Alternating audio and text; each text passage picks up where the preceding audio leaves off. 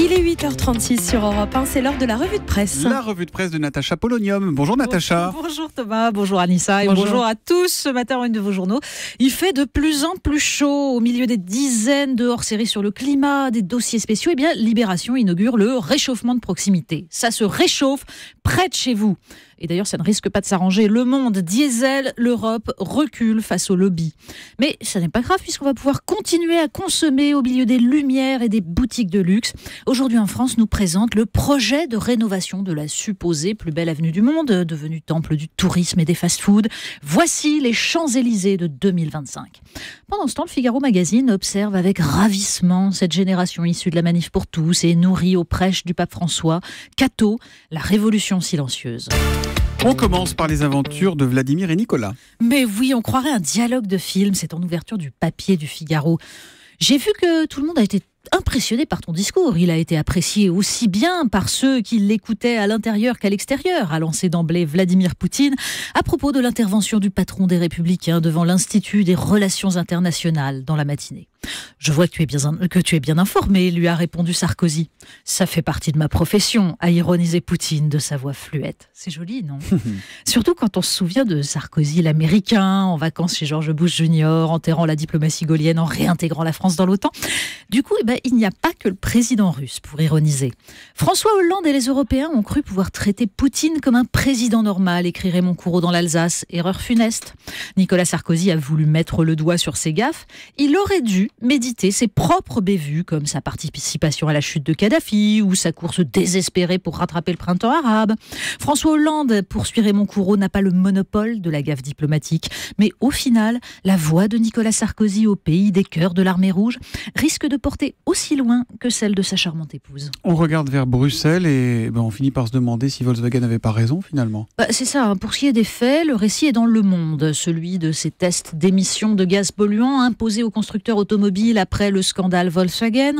Avec le soutien de certains États, les industriels ont donc obtenu de la Commission de Bruxelles des normes moins contraignantes que prévues. Et dans le Parisien, on trouve les commentaires scandalisés de Ségolène Royal. Une décision absolument incompréhensible. Les discussions se sont complexifiées, explique-t-elle, en évoquant le rôle de la commissaire européenne. Et les textes ont été édulcorés. C'est une délégation de pouvoir à des techniciens qui ne rendent de compte à personne. Et tout à coup, bah, on comprend comment se partage le pouvoir à Bruxelles. Les élus proposent, espèrent, mais la décision, visiblement, ne dépend pas d'eux. Vous nous parlez à présent de la République démissionnaire. Oui, les politiques ont-ils volontairement renoncé? Eh Bien, c'est aussi la question qu'on se pose face à la une de Marianne. Violence urbaine, incivisme, règlement de compte. Pourquoi la République démissionne?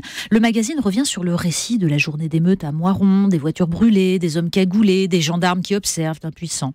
Bien sûr, reconnaît le journal, les chiffres de la délinquance apparaissent en baisse vol à main armée, homicide, cambriolage. Mais ces chiffres, nous dit Marianne, ne rendent pas compte d'une délinquance qui porte d'abord atteinte à l'autorité de l'État. Une autorité qui s'affaisse au moment où la colère des policiers éclate jusque dans les rues. Un article raconte aussi la désertion de l'État dans la jungle de Calais, devenu un vaste camp autogéré où règnent les mafias. Un autre encore s'intéresse à cette nouvelle mode des mariages bling-bling dans lesquels des jeunes gens louent des voitures de sport et miment les cortèges des parrains mafieux avec accélération brusque, slalom sur la voie publique, le tout filmé sur smartphone. À Cavaillon, à Mulhouse, Nîmes ou Roubaix, eh bien on ne célèbre plus tout simplement de mariage le samedi après-midi.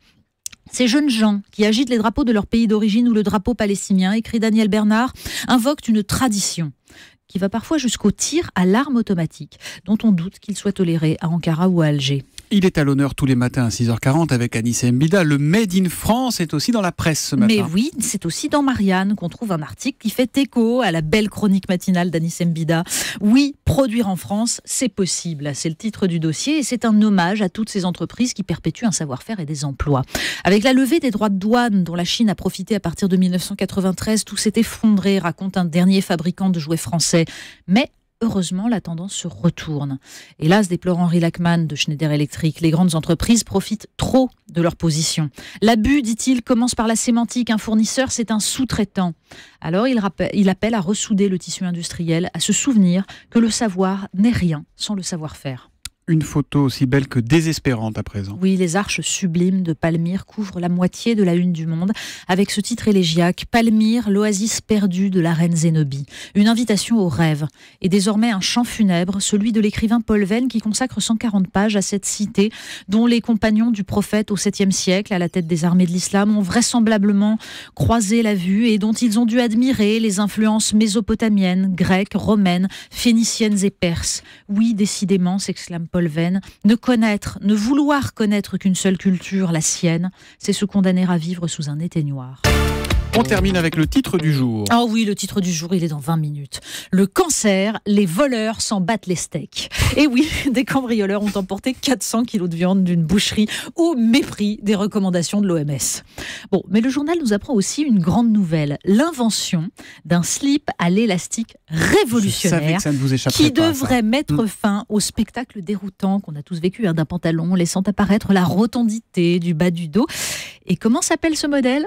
Le, sourire, du, plombier. bien sûr. Alors, on ne sait pas si le plombier est polonais, mais cette invention géniale qui évitera des situations gênantes, elle est française et c'est ça, la France qui gagne avec le sourire. Et la revue de presse qui gagne avec le sourire de Natacha Polony tous les matins à 8h30 sur Europe 1. Alors, je vous ai appelé Natacha Polonium parce que ce soir, c'est la première de Polonium. C'est le moment où vous mettez sous la table et que vous rougissez en général. Exactement. Sur Paris Première à 22h45. Émission de débat, hein, c'est ça? Émission de débat, de discussion, de rencontre. Voilà, qu'il faut regarder si on a une box, on se branche sur Paris Première.